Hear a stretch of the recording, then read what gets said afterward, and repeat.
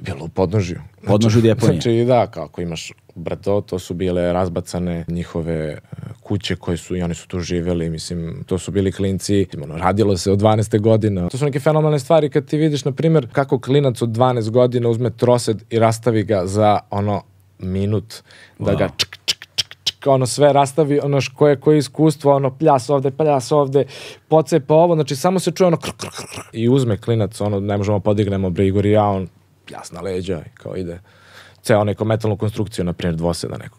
Tako da ovaj, oni, su, oni su živeli tu, radili i prodavali su, mislim, oficijalno su prodavali stvari gradskoj čistoći kao na otkup, pa onda tu sad, znaš koliko ima mesta za otkup tu okolo deponije, to je ozbiljan biznis. A onda s druge strane imaš uh, moje junake flašaroše koji se bave striktno plastikom, plastične flaše i to je privatan biznis u sklopu kao deponije, jer to drže neki privatni ljudi